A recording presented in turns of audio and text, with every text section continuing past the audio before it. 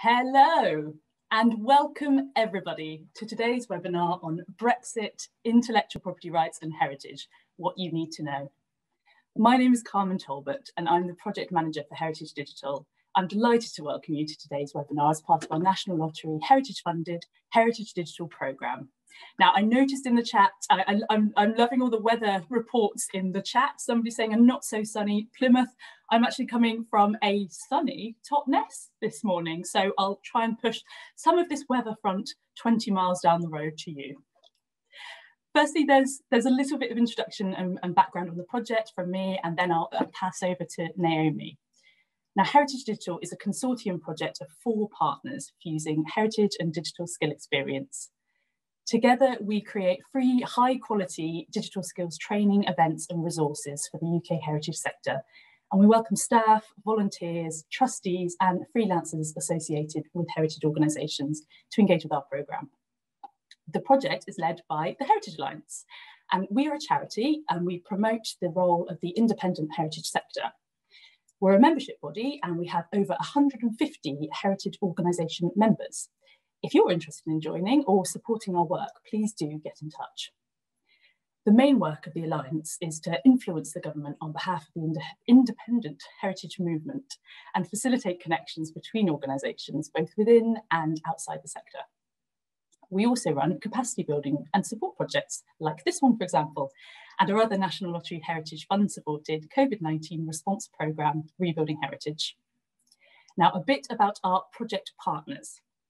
Charity Digital are our digital technology specialist partner. They're hosts of the project website and mailing list and event managers of our webinars and virtual events. It is their expertise that makes everything run so smoothly. Fingers crossed. Media Trust are our digital communications and marketing specialist partner. They're designers of our beautiful downloadable guides and they are linked to leading organisations in the world of digital through their corporate partners. Finally, Today's webinar hosts are our digital rights specialists, Naomi Korn Associates. Now, it is very likely that some of you in the virtual room today will have heard of them already. They're one of the UK's leading information management consultancies, specialising in intellectual property rights, data protection and licensing, and they lead on support on these topics to the heritage and arts sectors. Naomi Korn Associates supports their clients to develop better rights and privacy policies and awareness through training and consultancy services, including a forthcoming toolkit for archivists on data protection that's been commissioned by the National Archives. Now, on the subject of data protection, if you missed the live broadcast of our Heritage Digital webinar on data protection and Brexit last week, this will be available as a recording in the coming weeks. Now, before I ask Naomi to join me, there are a few housekeeping points.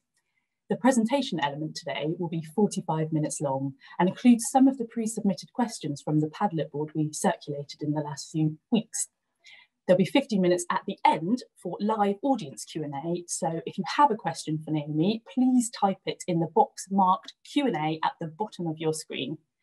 In all of our webinars to date, we've received far more questions than we've had time to answer. So if we can't get to yours, we will look to cover it in the accompanying digital guide. Feel free, and as you already are, use the chat to introduce yourself to others and flag any technical issues that you may have. The recording of this session and the presentation slides will be made publicly available after the event and emailed directly to everyone on the Heritage Digital mailing list. We will aim to get this done in the next two weeks.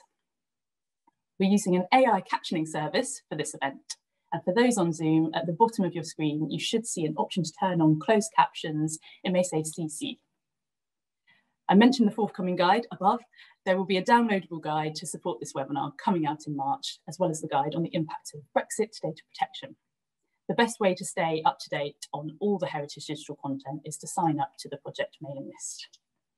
And finally, we hope you can you, we hope you will enjoy this webinar and will give us feedback via the form sent out after the event. Now, I'm delighted to introduce your speaker for this session, Naomi Korn. Naomi, will you please join me on the screen? Hello. Hi. Hi. Now, Naomi is the founder and managing director of Naomi Korn Associates. She's one of the leading experts in the UK on copyright, data protection, and GDPR, as well as rights and licensing. She's been supporting the public, corporate, education, and charity sectors on rights management and rights exploitation for the last 20 years. Welcome, Naomi. Thank you, Carmen. Thank you so much. And welcome, everyone. And um, thank you so much for joining us today. Um, it's my absolute pleasure to be leading the webinar on Brexit, IP rights and heritage. And um, as Carmen said, I've incorporated many of the questions that you sent in advance into the presentation already. So thank you so much for those. And I'll be taking hopefully as many questions as I can at the end of today. So Carmen, thanks again for um, setting this up and also um, thanks to our friends at Charity Digital for um, basically making this webinar hopefully as uh, kind of seamless and um, all the tech support that you have given us. I will see you at the end, Naomi, for the Q&A. Brilliant. Thank you so much. Excellent stuff. Good. Okay. So um, first of all, I'd like to introduce you to my team. Um, I am the front woman for the amazing work that's done by Patrick Ibbotson and Maddie Beeson. Um, so we've we've been a growing company um, quietly over the last few years, particularly. And Patrick joined us from the Museum of London, and Maddie joined us from the Imperial War Museums. And it's together that we're able to support the sector in all the various ways that we do. And a massive shout out um, to my team for the amazing work over the last year during lockdown, during a really hard kind of period of time, and they have just been absolutely phenomenal. So um, what are we going to be covering today? Um, there is a fair amount of impact um, regarding intellectual property rights as a result of the UK leaving the EU, but I have focused in on a number of key areas, um, particularly those that relate to copyright, orphan works, um, the European Court of Justice rulings, the database right, and trademarks and design rights. Now, there are others. Now, there'll be a few of you that might be interested, for example, in patents and the impact of Brexit on patents, but because of the time limitations that we have today, I am not covering those, but I will recommend that you look and you go to the Intellectual Property Office website. And that's the main source of advice that has guided us in the, in the preparation for this webinar today, but that will give you more information about the impact there. So in addition to providing you with an overview of how Brexit has affected the heritage sector in terms of intellectual property rights, I've also done a bit more work and what we've done is we've uh, compiled for you some action points, a bit like what we did with the data protection webinar. So things that we would recommend that you do next in order to prepare yourselves for the changes that have happened. But before we start, a little poll for you.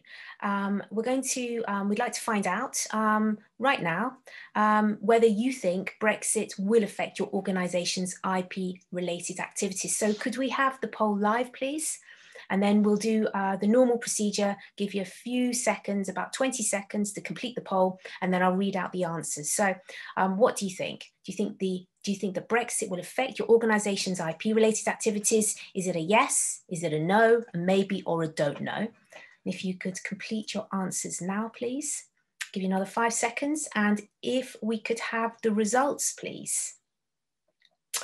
Okay, so I'll read them out to you. Um, those of you who thought that the answer was yes, there are 54% of you, so that's 149 of you think that the answer is yes.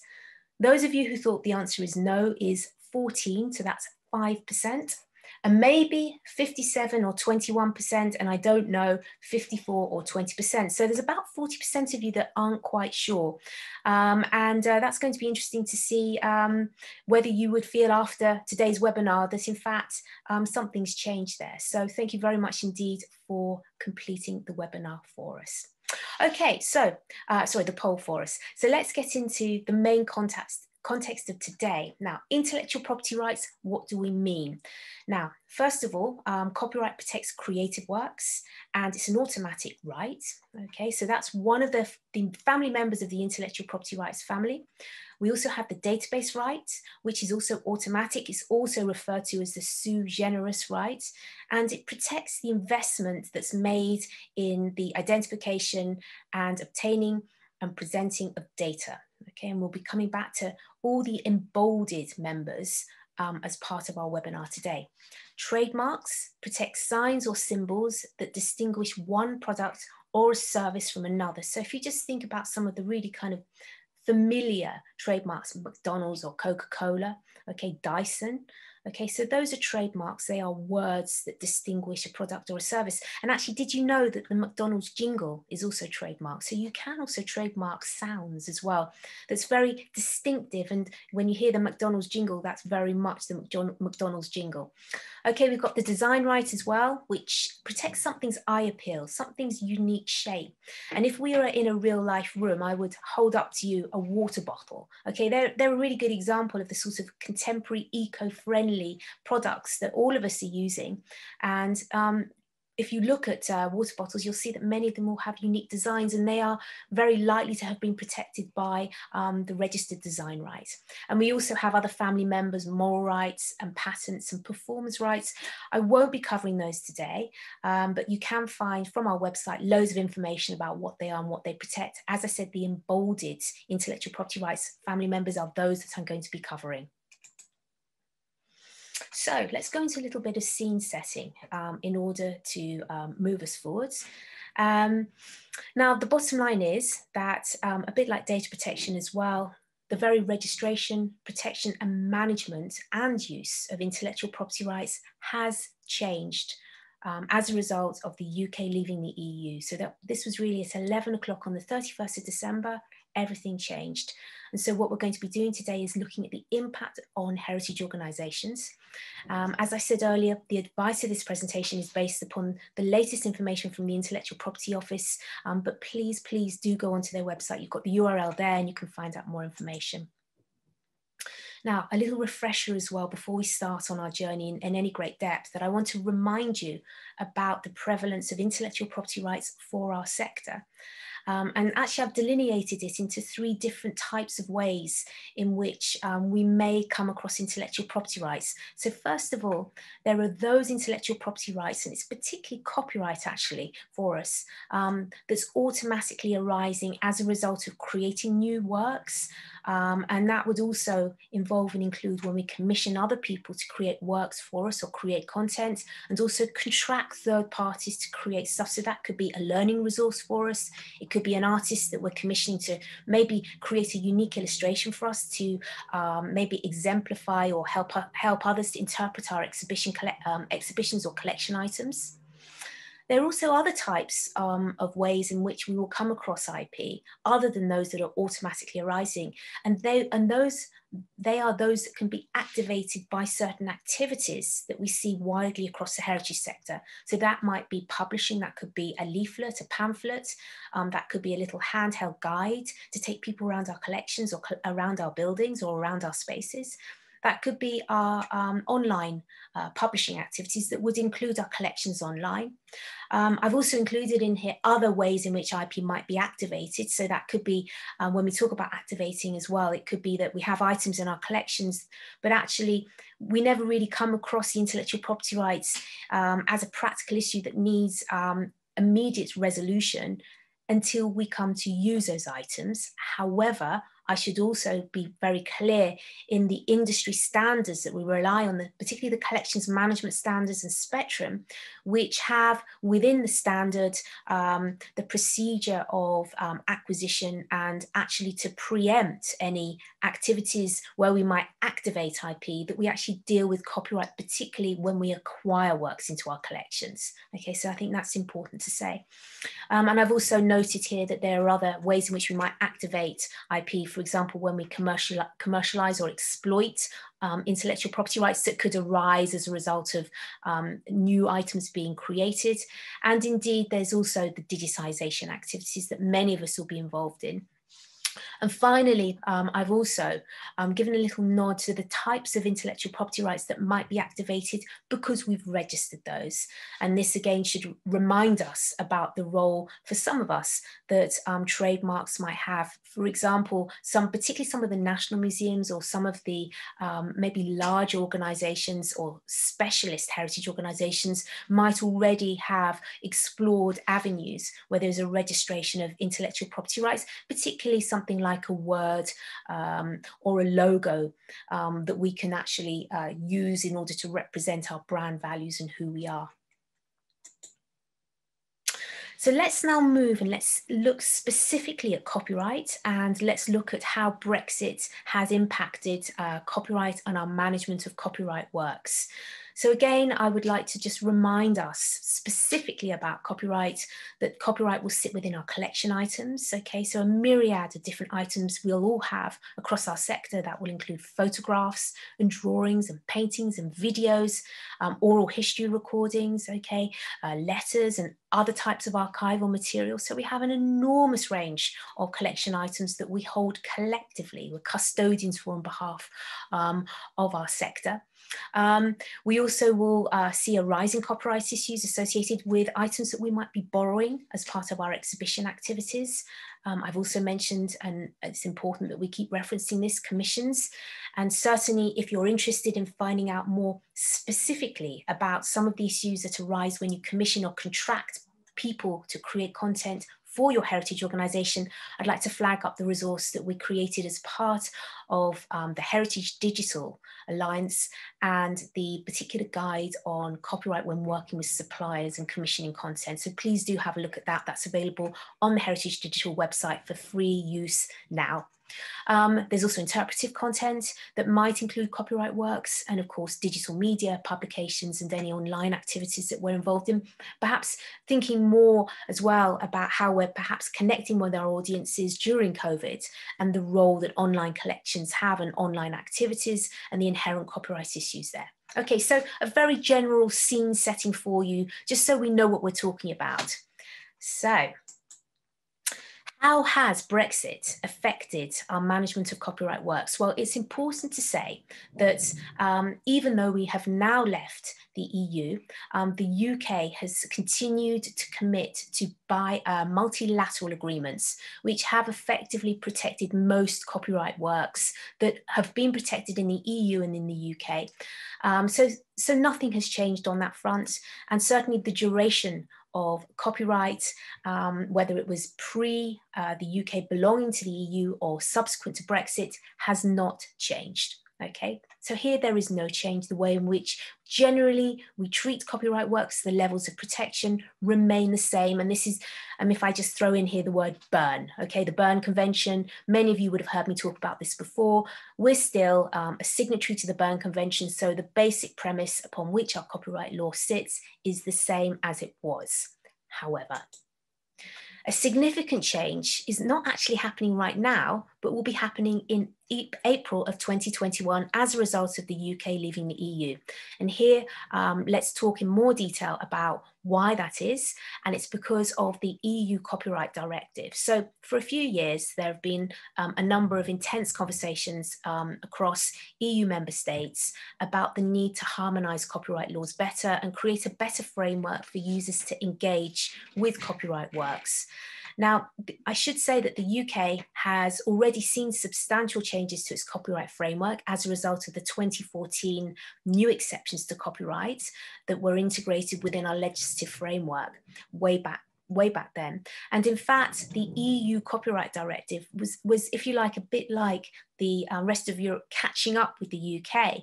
Um, however, the EU copyright uh, directive is actually better uh, for users than what we have in the UK.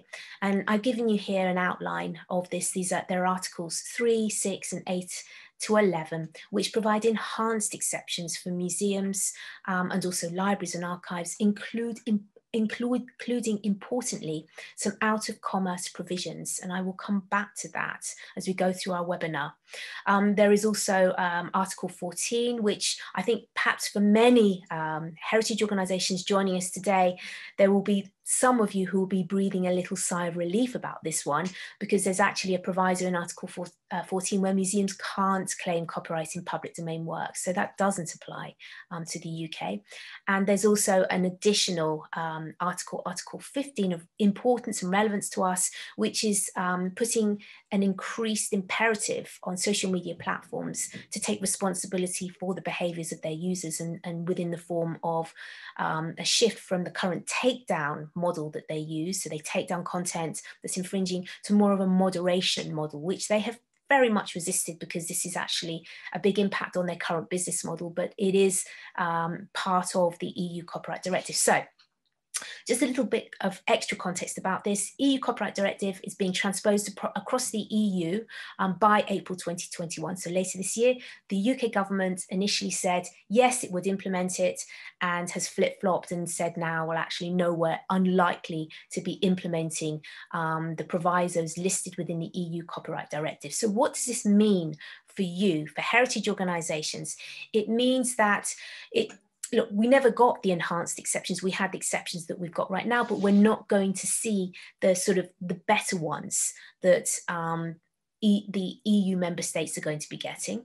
Um, it means also on a practical basis that the UK remains um, unharmonized with the rest of the EU. So the states across the EU will have a harmonized exceptions regime and the UK will not be part of that. Now, because please remember that the EU um, copyright directive includes exceptions based upon ours. So being out of step is not a significant, um, it's not a significant being out of step.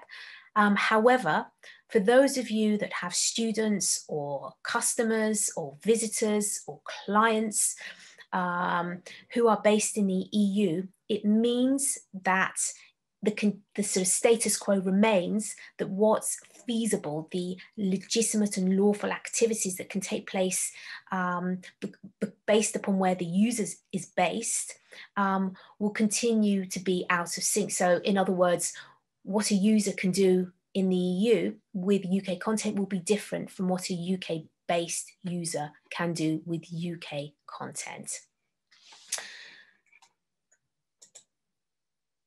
So, um, answering a question. Will Brexit affect my collections works on Europeana? And the answer is no.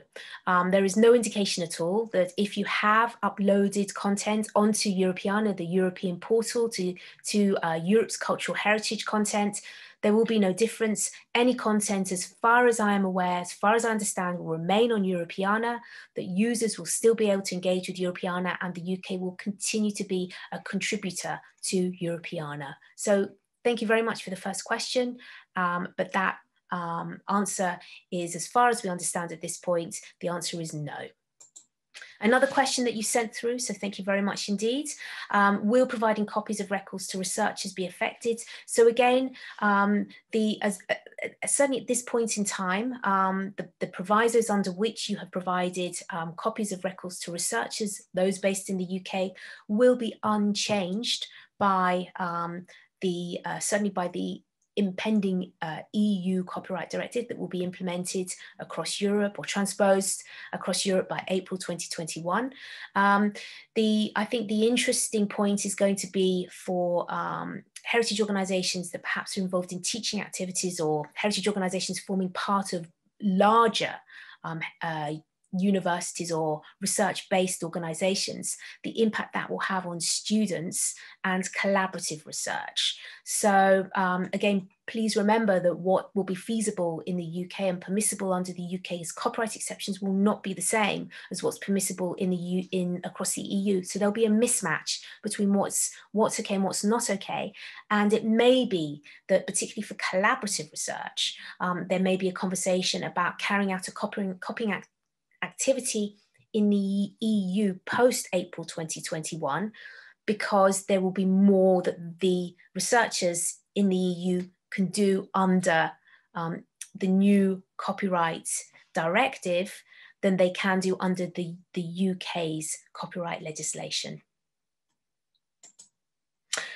Okay, and I will be happy to explore um, the issue of the EU copyright directive after the presentation. So let's kind of boil this down a little in a little bit more detail and look at one of my pet topics, um, orphan works. So, and I've done an awful lot of research in the last few weeks. Um, the current cross-border copyright arrangements that were unique to EU member states stopped at the end of the transition period. In other words, um, when we left the EU, um, the UK no longer benefited from the cross-border copyright arrangements. And actually tracking back, um, I um, note that these were um, absent from the withdrawal agreement and also from the free trade agreement. So in fact, um, they were never going to be um, carried through. It was never, as, as I've been told by government, they were never part of the UK government's negotiating strategy. So it was always going to be a done deal.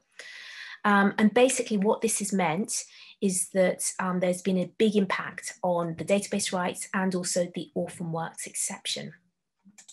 So let's remind ourselves what orphan works are. Now, orphan works are works in copyright where the rights holders are either unknown or cannot be traced. This is an issue of huge interest to me um, professionally, and I've um, certainly for the last 12 years or so um, done quite a lot of research work looking at orphan works. I carried out a study in 2009 looking at the um, scale and impact of orphan works on public service delivery, focusing on cultural heritage organisations. And in that um, initial research, I actually found that there are about 50 million orphan works. And I, and I have to say that that's, in my opinion, now that's a mere drop in the ocean. My subsequent research, um, I think, has led me to believe that we have hundreds of millions of um, orphan works across the heritage sector. However, the percentage um, that I estimated then based upon um, a large scale survey of about 40 to 50% of heritage organisations' collection items I still believe that to be accurate. I should also say too that uh, my research hasn't ended, and some of you may know already that from uh, January the 1st of this year, um, I started a part-time PhD at the University of Edinburgh looking at the impact of Brexit on the management of orphan works. Now it's a part-time PhD, so it means my days day job stays the same um, but i have a i have the benefit of having time in order to look at long term impacts. and thank you some of you for already um, some of your kind of contributions and suggestions and also for completing the uh, LACA survey that was sent out um, before the new year as well Okay, so um, two of the ways in which we um, were able, um, before we Brexited, to manage orphan works. Um, one was the orphan works exception, which we have now lost, and I will um, talk about that again in a little bit more detail. And also we have um, an orphan works licensing scheme run by UK government. So two of the possible solutions to how we manage orphan works. Um, I've put them side by side for you because I want you to understand the difference between the two, and it will also help us understand exactly what the orphan works exception did cover. So first of all, the orphan works exception was applicable to cultural heritage organisations, so that's museums, libraries, archives and education establishments. It enabled um, big um, mass digitisation projects to take place because it um, provided the ability for cultural heritage organisations, particularly to put orphan works online for non-commercial use. Now, this wasn't all orphan works. This was um, very much text-based orphan works, audiovisual works like films and sound recordings, um, but any of those um, types of collection items that also included embedded artistic works were also, were also covered. So a good example was the um, British Library's um, complete uh, catalogue of the um, feminist lesbian publication Spare Rib, which um, included a number of embedded orphan artistic works. Now, what did the orphan works exception enable? Well, it enabled um, cultural heritage organisations as part of the organisations that were covered to um, place these items online um, as long as they carried out reasonable searches and they recorded the name of the work on the EU Orphan Works database. And it's access to the EU Orphan Works database that um, no longer applies since the UK left the EU. Um, the benefits of the orphan works exception were that um, it was almost like another layer of insurance or the cherry on the cake, that if we carried out our reasonable searches to a standard that we were satisfied with, if a rights holder did come forward, um, as long as we had listed that particular work on the orphan works database, the EU orphan works database, it meant that going forward, we would come to some arrangement with the rights holder. We'd, we'd either take the work down or perhaps pay a license fee. But up to that point, it almost gave us that sort of insurance that nothing could happen for our use up to that point.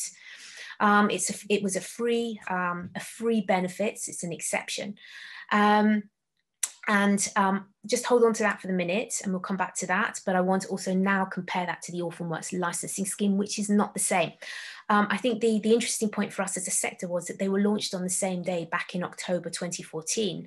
And whilst they both cover orphan works, they do so in different ways using different mechanisms. So again, the orphan works exception is an exception. You don't, you don't pay for it um, or you didn't pay for it. And it provided you with a scope to put um, items online the Orphan Works licensing scheme was a licensing scheme administered by UK government. It enabled anyone, and it still does, um, it enables anyone to um, apply for a license to use orphan works for any use that they require. So that will cover both non-commercial and also commercial uses. Um, there is no restriction on the types of orphan works, unlike the orphan works exception, nor the type of organization that could benefit from it. Um, but the application process um, is somewhat different because like any license, it's about applying for a license, completing the details, um, having the intellectual property office verify um, that these works are indeed orphans. So that would be in addition to your own reasonable searches.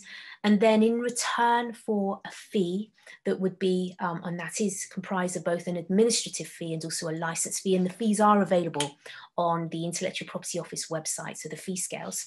Um, the beneficiaries of such licenses are granted a license of up to seven years um, or until the rights holder turns up um, for use that covers you in the UK only. Okay, so that's the difference, and it's an important difference between the Orphan Works exception and the Orphan Works licensing scheme. Okay, so, and there is a question that we've received about the Orphan Works licensing scheme. The removal of the Orphan Works exception. Now, this means um, that the UK can no longer benefit. Now, I'd like to be clear with you. Um, before we left the EU, I did some analysis, and there, there were up to the point that the UK was no longer a beneficiary of the orphan works exception, there were 14, one four uh, UK cultural heritage organisations that had works on the uh, Orphan Works, the EU Orphan Works database, comprising of up to about 6,000 items, 6,000 items. So we're not talking about something that was significantly used. Okay, but it no longer applies. It means that we can no longer benefit from the orphan works exception. Something's been taken away from us.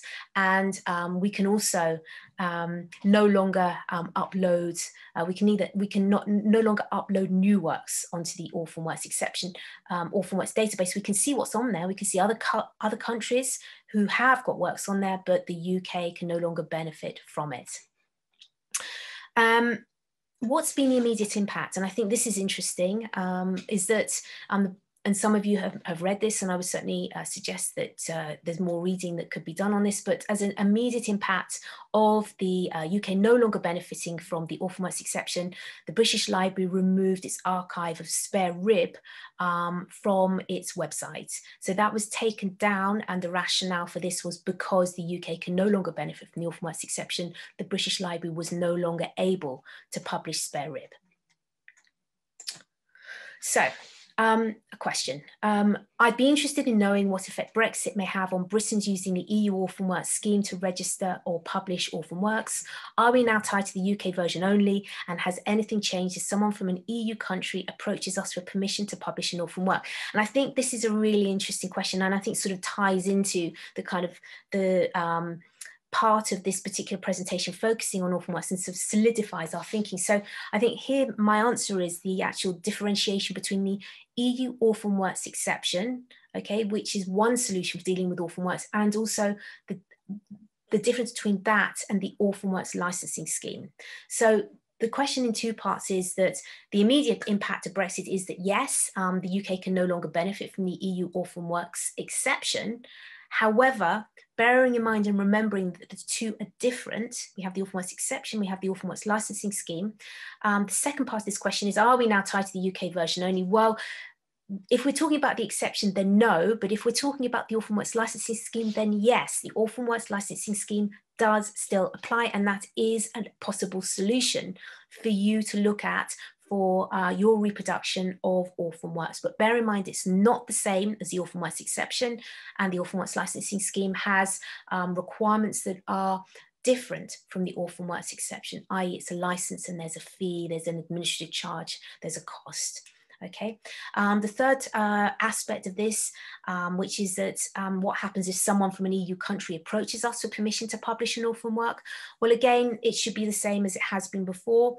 Um, if it's a work in your collection and it's an orphan work and they want to publish an orphan work in your collection, then my strong recommendation is that the onus of responsibility is either transferred to them, that they need to sort themselves out in terms of um, perhaps either using the orphan works exception, depending upon the type of work and the type of usage um, or alternatively, that they take responsibility for any risk that they're encountering, or there may be a third option, which is where you go down the route of perhaps carrying out reasonable searches on their behalf. But then again, it would be about understanding um, who carries the risk for any reproduction um, and verifying um, the searches that you carry out and taking that into account in terms of your time and the costs of carrying out reasonable searches on their behalf.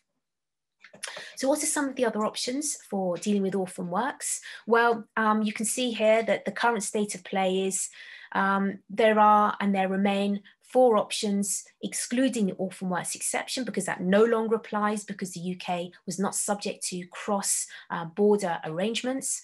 Um, so these are don't use if it's high risk, um, if it's going to take you too much time to car carry out reasonable searches, you don't have the capacity, that is certainly an option to consider carefully.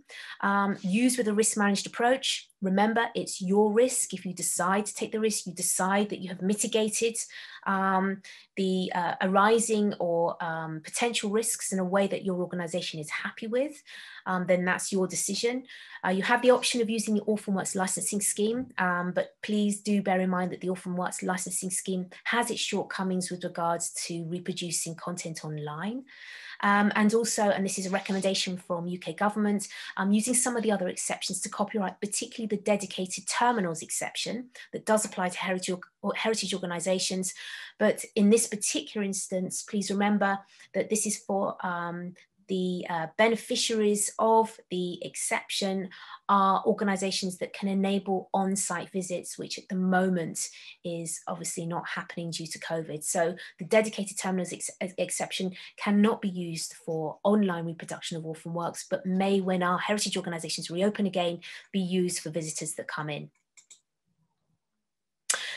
So another question, and thank you very much indeed um, for suggesting this one. Um, the Orphan Works licensing scheme is considered unfit for purpose. Are there any plans to reform it? So there have been uh, mutterings amongst um, myself and other colleagues that the Orphan Works licensing scheme um, has not gone far enough in order to facilitate um, the mass of digitization of items, that it's um, administratively too cumbersome and also not cost effective for us. And by only having UK coverage, it limits us, particularly when we're working um, using um, online um, online facilities to communicate and to engage with our audiences. So are there any plans to reform it? Um, as I said, I had a conversation with uh, UK government just after the UK left the EU to get a sense of um, what was planned. Um, as I understand it, UK government is open for conversations and open for discussions about how they can um, amend the scheme so it's more suitable for our sector. But they've also been very clear to me that if there is if there are no um, takers for the licensing scheme, then they are unlikely to amend it. So I think this is sort of the conversation is up for having right now, but we, I think as a sector need to be sure that um, any amendments to the scheme are um, satisfactory and suit our purposes and UK government uh, would want from us reassurances that if they do go to the effort of amending the scheme that we'll be using it. So maybe um, one might feel from this that we're at a little sort of um, you know at a point where perhaps conversations in the next few months would be useful to see where we might go with this Okay, so our second poll from today, um, I'd like to find out from you whether you think that the removal of the EU orphan works exception will impact on your digitisation and online publication of orphan works. So if you'd like to vote now, we have a yes, a no, a maybe, and an I don't know. If you take about another 10, 15 seconds and we'll see what you all think.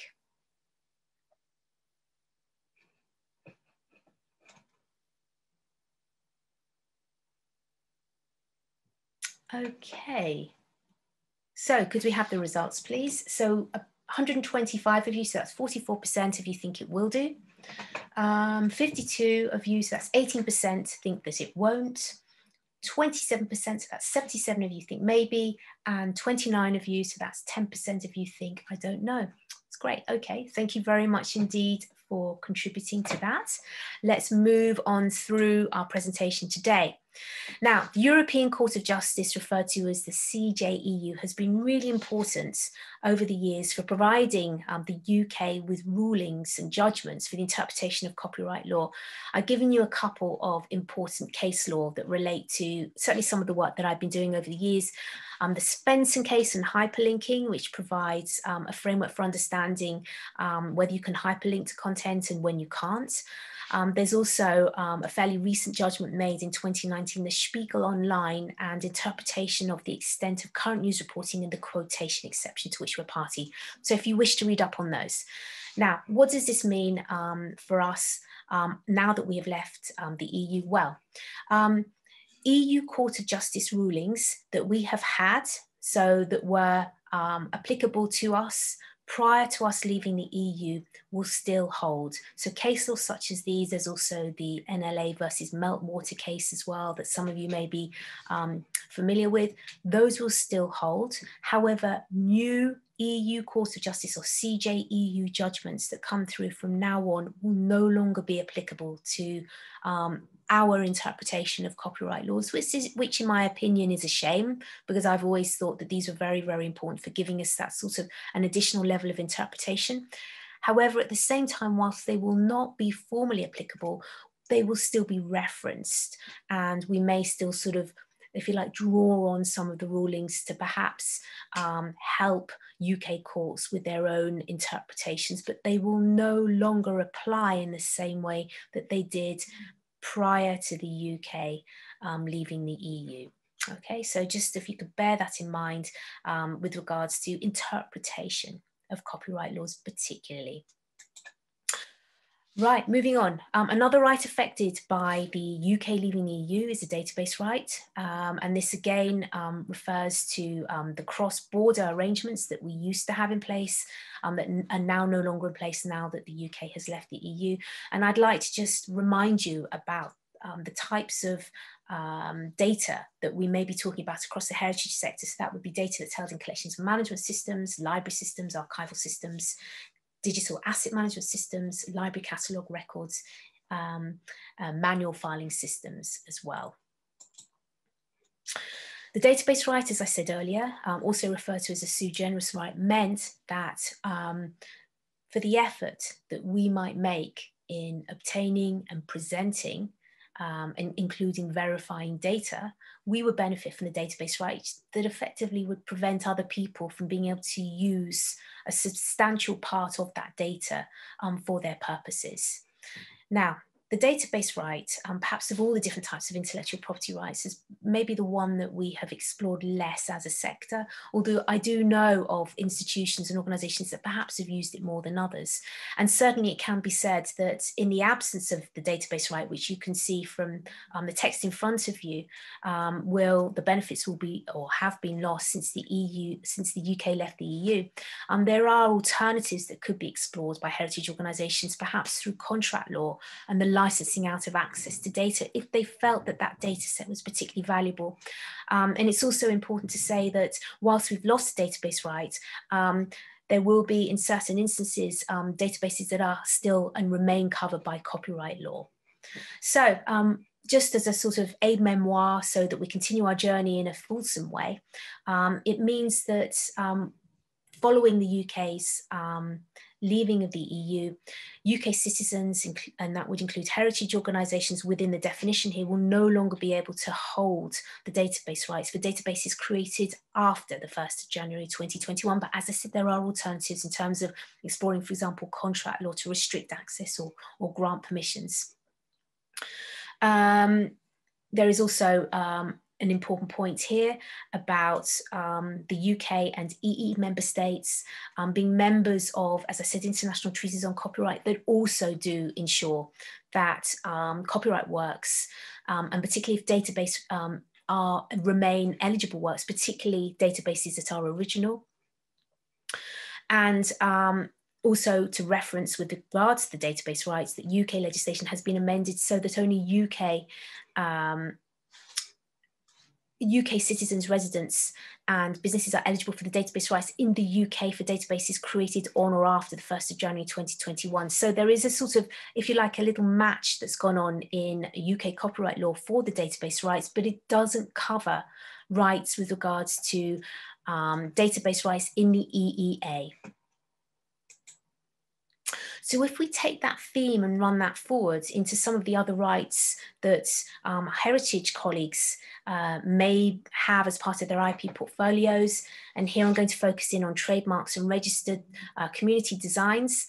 Um, the IPO, the Intellectual Property Office, has also um, created a framework so that there is a match between um, UK trademarks and registered design rights for every registered EU trademark and registered community design right. And so what they have done is that they've recorded on the UK's trademark register and the UK design register those same rights.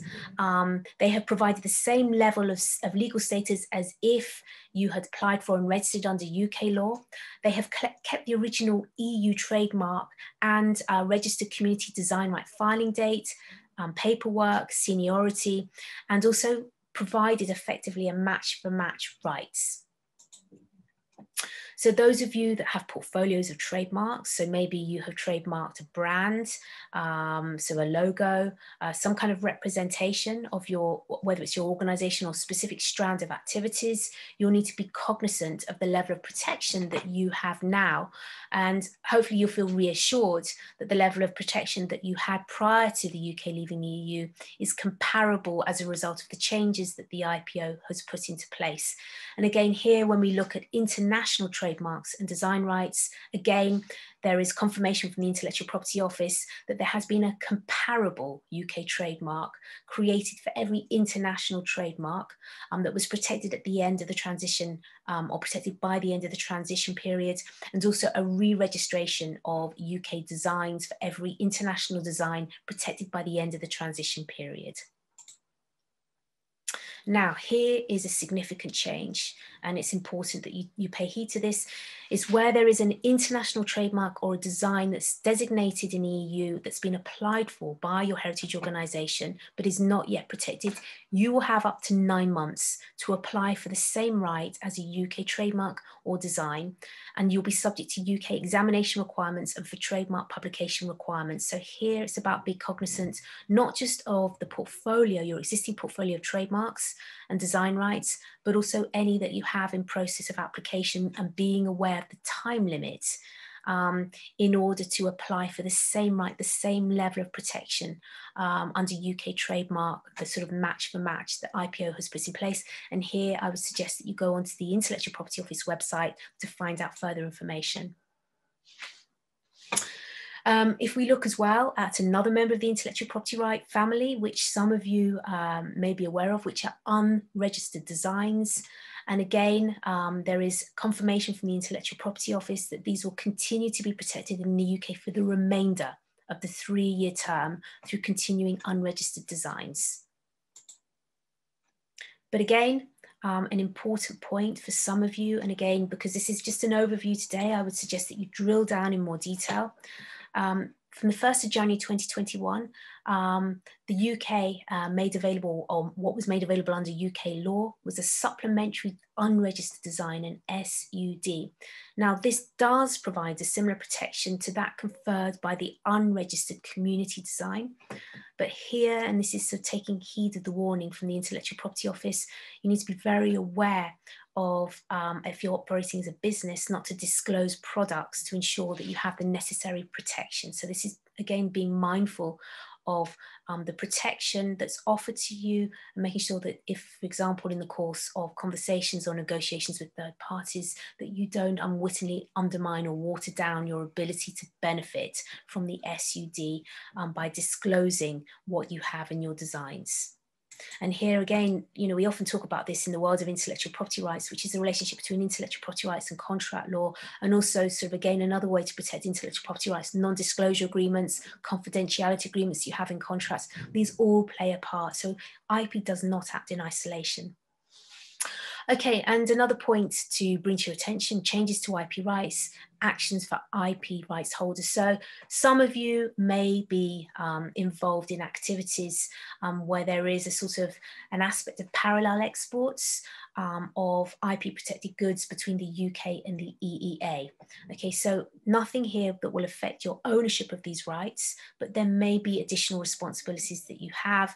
And if we dovetail this in as well to additional responsibilities that some of you will have under the data protection changes that we saw and that we examined last week, um, also there will be VAT implications with regards to the UK leaving the EU. So this should all be tied down together and you need to take a contextual view to make sure that if you are already examining examining um, your business and how your business operates in the EU, please make sure you incorporate um, the changes with regards to IP rights that we've discussed today within those broader conversations about how you operate and your obligations. So a question, is there going to be any difference between the impact of Brexit on intellectual property rights in Britain and Northern Ireland or will the same rule apply, same rules apply? So thank you very much indeed. As far as I understand, the same rules will apply as they have done before and the changes that we have outlined and that I've outlined today with regards to the management and protection of intellectual property rights will be those same changes that will affect colleagues who are based in Northern Ireland.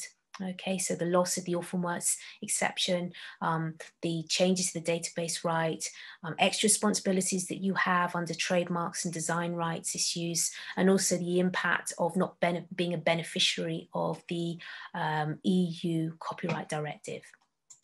So I know that we're running out of time, but I want to make sure that we really kind of complete our session today with kind of giving you an indication of what you can do next. So first of all, to remind you about um, the Naomi Korn Associates compliance methodology, which is about trying to integrate good intellectual property rights management and data protection management and information law management within the heart of your organization, the need for a strong governance framework uh, reflected in your four plans, your policies, your procedures, your tool system standards and making sure that everyone knows what they should and shouldn't be doing. Okay. Policies, for example, are only as good as staff awareness and keeping awareness fresh, particularly now during lockdown.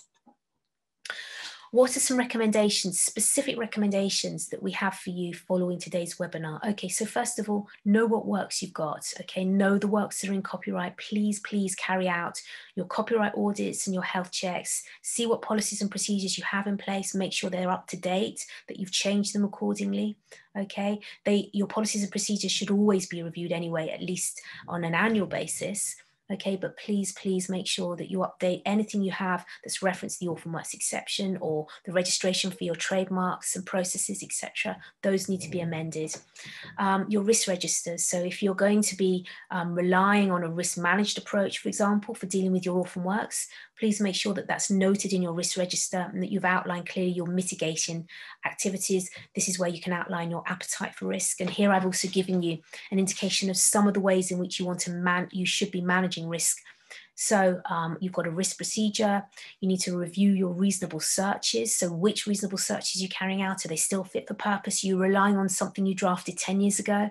Okay, the internet's changed since, there's more databases available. Please review your takedown policy and procedures like anything that goes wrong, whether it's a data breach or an infringement of copyright, it's only as good as how quickly you can respond and make it better. So if those form part of your risk um, management procedures and outlined um, as um, risk mitigation, mi risk mitigation activities in your risk register, please, please review them.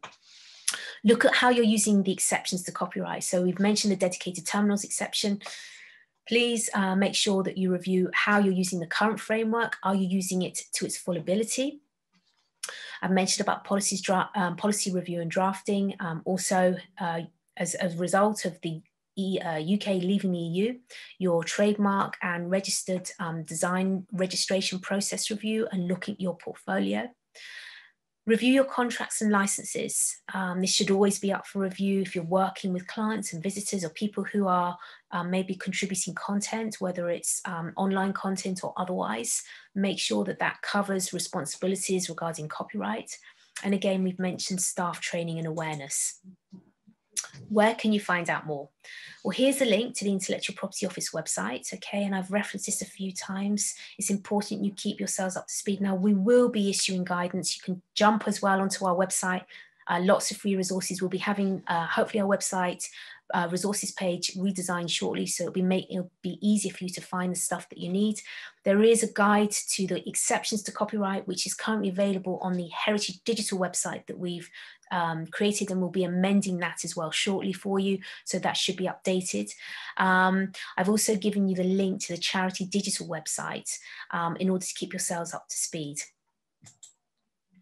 So I know I have taken a little bit longer today to cover the issues, but I wanted to give you depth that this topic requires, um, an outline of the issues and also some things for you to do next. Okay, so like the data protection webinar, there is plenty of things that you need to be following up on and you need to be deciding on, for example, your stance on orphan works, particularly in order to carve a pathway forward for yourselves. So I'd like to say thank you so much for listening to me. I hope that you found today useful. There'll be plenty of resources to support this webinar and also there are other resources available for you that you can download that I've referenced. So if I could open this up to questions, Carmen, hello, nice to see you again. Hello, nice to see you and I will, I was just thinking, I've been scribbling down notes um, right. in, in the full knowledge that these slides and the recording and a guide will be available. So just to reiterate to, uh, to participants that uh, you will be able to have these slides. There have been a couple of questions in the chat on that and this recording will be available. So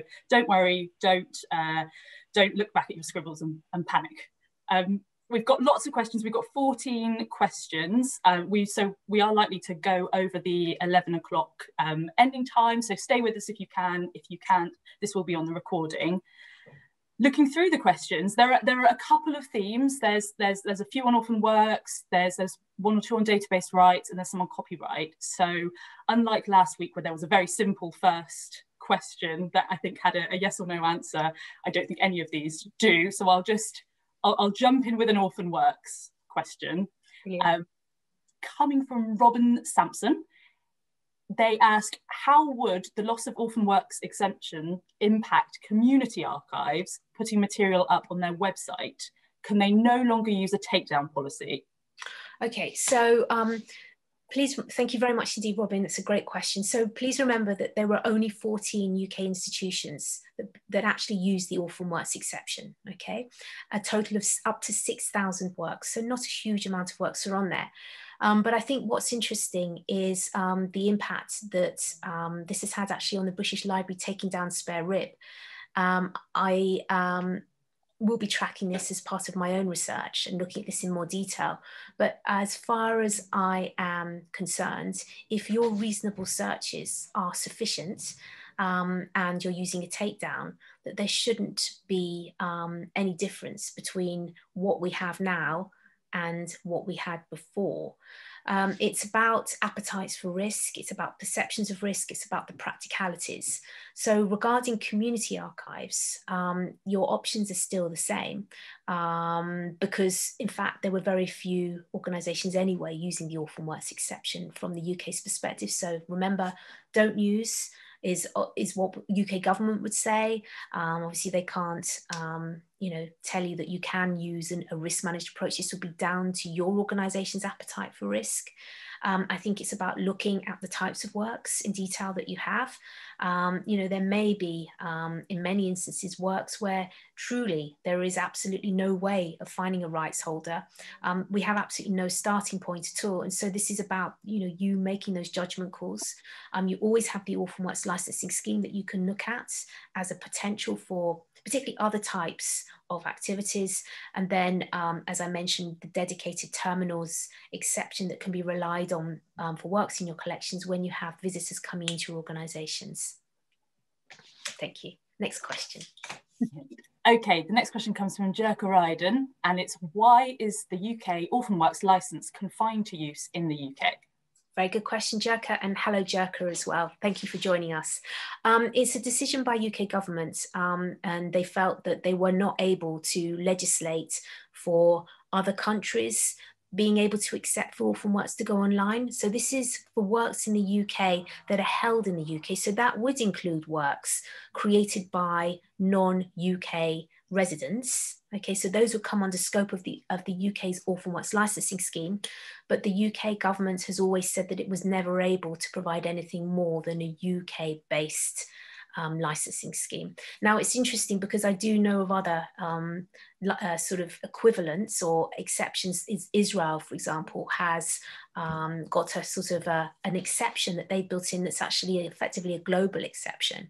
So I'm I'm I'm uncertain as to how they've done that and why the UK has gone down this particular route. And I'm sure that um, this will form part of the conversations that a number of us will have with UK government over the course of the next few years about trying to find an alternative. If I could also mention too that um, there is something I didn't pick up on that I wanted to bring into the questions, which is I mentioned in the EU uh, copyright directive um, a provision called Out of Commerce Works. Now, this would have been a beautiful thing for us in the UK because if we had been able to transpose the EU copyright directive into, into the UK, we would have benefited from this. That would have actually meant that we could have put a large amount of orphan works online. So this is a bit of a double whammy for us. Not only don't we get the EU copyright directive, um, which includes this and other provisions, but we have the orphan works exception removed from our legislative framework. So a bit of a shame, really. Now I've noticed Jerk has done a follow up, which I'm, I'm I've, I've captured there. It's a they say is the Orphan Works license a compulsory license and hence the confinement? No, it's not.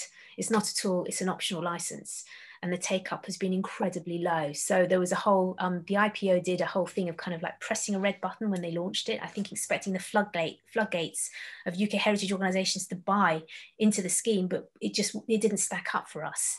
So it's not a compulsory license at all. It's optional, and it's not just for heritage organisations. It's for any type of anyone. It's for anyone for any type of work. Okay, thanks, Jerka.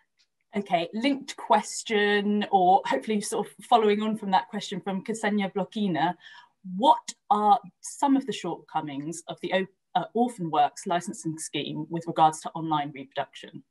Okay, um, so it's a limited limited license for up to seven years, and um, that means that for some of us who, for example, are in who are recipients of um, heritage funds, uh, National Lottery Heritage Fund grants to digitise collections where they require that works are made available under a Creative Commons attribution licence following their policy change in September. There's an incompatibility between a Creative Commons license, which is in perpetuity, and a seven year limited license, right? So that's a starting point.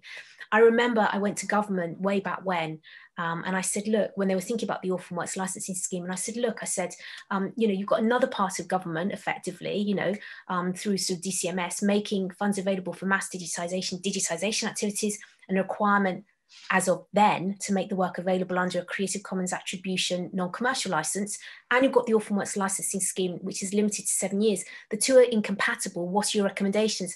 And they said, we well, need to go back to your funders and tell them that. So there you go. Um, so uh, that's number one, one problem. Um, the second problem is that the scheme is for UK um, reproduction only. It only covers works in the UK. So if you put stuff online, it's not covered under the scheme. So there are two, two reasons.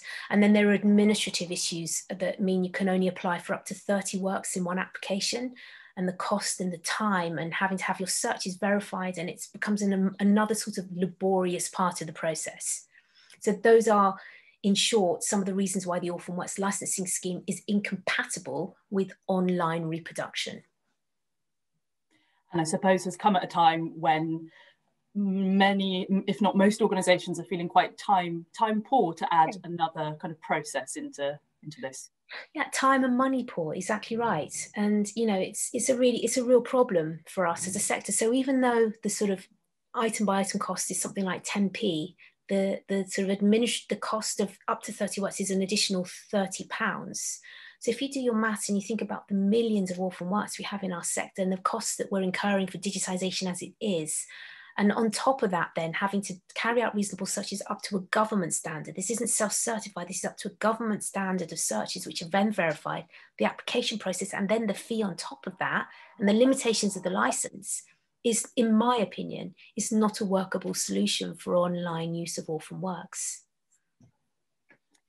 Okay, we've gone we've gone over by a few minutes. I want to cover some of the database rights and copyright questions. We're we're up to 17, so I'll, I'll, I'll, do a mix and then we will look to consider them in the in the guide.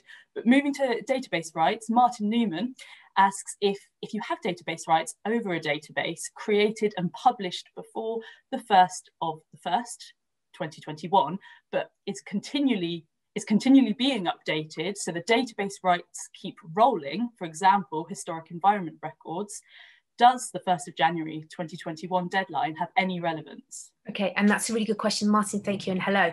Um, that's a very good question, and I don't have an answer for you. Um, but a recommendation from me, and I can look that I can look up the answer and, and, just delve a little bit deeper. And that's a very, very good point indeed. Our, our, databases aren't really static, and I think that the sort of the guidance that we have from the intellectual property rights kind of implies that there is a sort of a static nature, and it doesn't work like that. Um, my recommendation would be to um, already explore, if you've not done so already, in terms of protecting your databases using other forms, and I've mentioned contract law. So if it's about enabling other people to reuse a, a certain amount of your um, database, then it's about providing the information about what's acceptable and what isn't within a contract that you have with them, with your users. So certainly I'd look to moving that forward sooner rather than later anyway. Brilliant. I'm going to go, there, there are two that sort of concern sound and AV, so I'm going to, to dive into them. Um, the first is from Nikki Hilton, and it says, I have a sound recording that was made in 1983. Right. I thought this was only in copyright for 70 years. I think we've lost you, Carmen. Was added. Oh, so could you repeat that again? I, I, I, will. It's a, it's a, it's a, a little blip. A little blip. I have a sound recording that was made in 1983. I thought this was in copyright for 70 years, but a colleague told me now it's only 50 years because the extra 20 years was added as an EU extension and that extension no longer applies. Is that right? I don't believe that's necessarily correct. Um, so I think the um, as as as I have understood, um, the, um, the UK being subject to um, EU provisions, which would have been transposed into UK copyright law, still apply. So the variabilities in terms of the duration of protection for sound recordings will not actually be, be, be based around whether the UK has left the EU, but more about the criteria um, upon which that sound recording has, was cr created and also any subsequent publication. That those more are the factors that would determine the duration as to whether it's 50 years or 70 years. And even there may be um, criteria for example if it's crown copyright as well that might affect the duration rather than brexit. So anything transposed into uk law um, that we have had up to this point that's not a cross-border issue at all. That would also be um, more about um, the UK being party and subject to um, multilateral agreements, Berne Convention, etc., etc., which have been unaffected by the UK leaving the EU. So I hope that clarifies that. But thanks, Nikki, for that. And, and, and the second sound related, but exhibitions related, really, um, from Zoe Few. When clearing rights for images and AV content for display in exhibitions which tour outside of the UK to the EU, going forward, will heritage institutions be required to clear rights under UK law and EU law? You would always have to have done that. You would always done because you would always have, there was always going to be, anyway, a need for um, exhibitions that are touring, um, that the uh, access to those touring exhibitions would be subject to where the touring exhibition was being held anyway. So it would be country specific. So you always would have had to have done that to start with. So the answer is there's no difference. It's just that there would have been if we had stayed in the EU. Oh, there would have been so much if we stayed in the EU. But if we'd stayed in the EU, um, we would have then been party to the EU Copyright Directive, which would have harmonised the exceptions across the EU. Therefore, it would have made it easier for things like touring exhibitions for us, that we wouldn't have had to have done that in the same way. Um, and we would have been able to rely on the, on the exceptions that were the same being in, in the UK as those being across EU member states. But now it's just gonna, we're just gonna have to continue doing what we should have done before. Naomi, are you happy to stay for a couple more questions? There, they're many and varied so i want to i'm, trying to theme but i may just take them. Um, I, this one caught my eye because it mentions lockdown brain which i think we can all identify with so thank you anonymous. Um, apologies for lockdown brain but does article 14 mean that we can no longer charge a license fee for works now in the public domain to eu customers? We can only charge an image supply fee the answer is I don't know, and I don't think I think it's still I think it will still remain. We're not subject to Article 14, so I don't believe that we will um, the situation will be any different from what it is right now. Brilliant. There's a second question that asks. Yeah, I don't believe that that will be. I don't believe that that will be changed. But look, never say never and and and again let I'm, I'm keeping a very close eye on what this all means. So we will let you know as time goes on okay? But that's my understanding right now that we will still be able will be continuing to do what we've been doing before. Okay a, a, a, a question around universities which i think will be interesting and could apply to many people. From katie sandbrook what are the implications of the EU directive for universities delivering digital content to students via a virtual learning environment if some of the students are physically based in the EU? Right, okay, so it would mean that there's a lack of harmonisation. So what is what is um, applicable to the EU students um, will not be the same as what's available to the UK. So at the moment, um, the state of play is that the U UK students are actually able to do more with content than um, students that are based in the EU, but that balance will change. And that actually, I'd say that fractionally, what our UK based, EU based students will be able to do with UK content would be more. Now, that's the theory, but the reality is that actually, um, as you probably know, across the um, higher education establishment sort of framework in which you know our, our, our teaching and research uh, takes place, there is a sort of a dizzy combination of both the exceptions to copyright and also licensing schemes. And so the reality is that actually, um, you know, we're only really talking about a very small amount of activities anyway covered under the exceptions, and that the majority of activities that will involve um, teaching will be covered by licenses that we have because the extent of copying is such that it's the licenses that will facilitate that. So actually, I would say the question is more about the role of the licenses than than this sort of exceptions to copyright. I think that, in, in my opinion, right now, the biggest impact will be. I think that exhibitions question is a very good one about heritage organisations. I think we, you know, we may have been in a better position not to have cleared rights. I also can see as well that there are certain activities like data and text mining, which we have under UK law, but there is an enhanced version um, that's applicable to EU member states that we no longer party to, we are no longer able to benefit from, which would enable um, potentially text and data mining for commercial purposes that could be really useful for us. And also, I think our librarians and archivists are also going to find that the enhanced library and archive exceptions will mean that um, there there's less that we would have been able to have facilitated in terms of access um, now than if we had stayed part of the EU. So I thank you for the question. I hope that helps to answer the question as well. There are a couple of questions around uh, fair dealing, the fair dealing exception, and I know that um, you have a you have a guide to exceptions to copyright, including fair dealing, that exists at the moment. Um, we're looking to get Naomi to relook at that as part of Heritage Digital a bit later on in, in the programme. So there will be something coming out from this programme on the on fair dealing and exceptions to copyright that will incorporate all of this learning. Okay, I'll I'll I'll, I'll take two more. Um, we okay, anonymous attendee asks, and I'm, I'm, I'm not sure if this is specifically in regards to, to Brexit or, or more general, Please, could you talk a little bit about the status of original records from the 16th, 17th, 18th centuries? Do these count as unpublished works? What is their copyright status? Okay, so it depends on how they've been made available. Um, it depends on original records. It depends on what types of records we're talking about. But the um, I think you're referring to the 2039 provisions. So under UK copyright law, not changed any works um, that were created by um, an author who died um, before 1969 but were unpublished by the 1st of August 1989 are potential candidates for being protected by copyright until the end of 2039. Okay, so this is irrespective of when they were created. This is really old records like manuscripts and letters. So you could easily have, for example, um, the letters of T.E. Lawrence. So this is Lawrence of Arabia.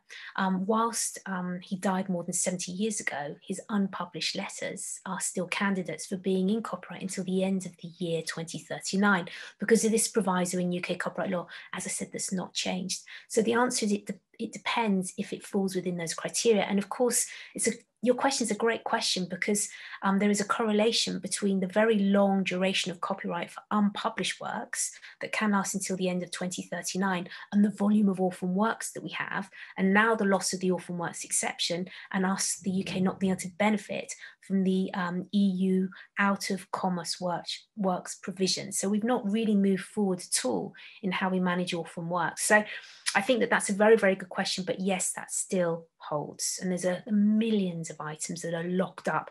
And, and certainly this is something that um, I did mention to UK government about whether that would be an area that they would open up again for review.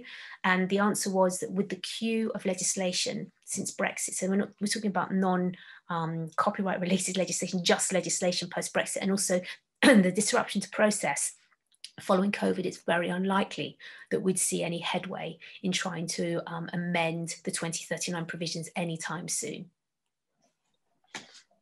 I, uh, I, am being kind of summoned by my cat alarm clock in the background, so I will take our last question. Sure from an anonymous attendee, does Brexit have implications for privacy laws and the use of model or property release forms? In a photographic archive, will we need to change our processes and documentation around this? Oh, it's a very good question indeed. Okay, so um, this is the this is one of the areas that we looked at in our last um, webinar on data protection. So the answer is yes, there is impact. Um, on a very basic um, level, as I said in the last webinar, you'll need to change reference to GDPR to UK GDPR, okay, because it's uh, it's now be trans uh, GDPR has now been has been fully transposed into UK law.